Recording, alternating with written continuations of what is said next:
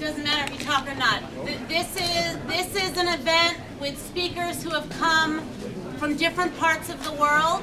The entrance fee is five to twenty dollars. You're welcome to come in. It did not say free open to the public. Right here. I have to. No, you have to let her open to the public.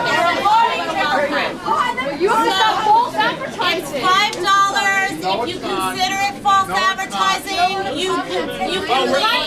But it is five dollars, and if you would like to come in, you will pay five dollars. If you don't want to pay, you can leave and, and you can watch it on Facebook. And you can watch it on Facebook. Facebook says it's free. And that's the mistake, though. I am.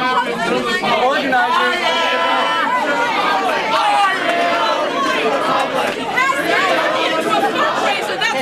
Yeah, we're covering it. Taking our money. I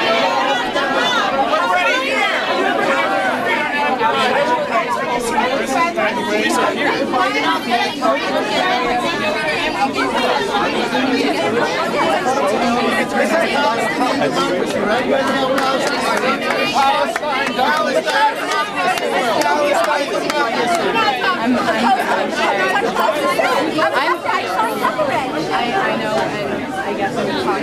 My taxes pay for this university. My taxes. So that you can have freedom of speech to have your speakers here. That's what my taxes go for as a New Jersey resident. Okay, so don't tell me. She, she ran, she ran for the event. She, I said go in anyway.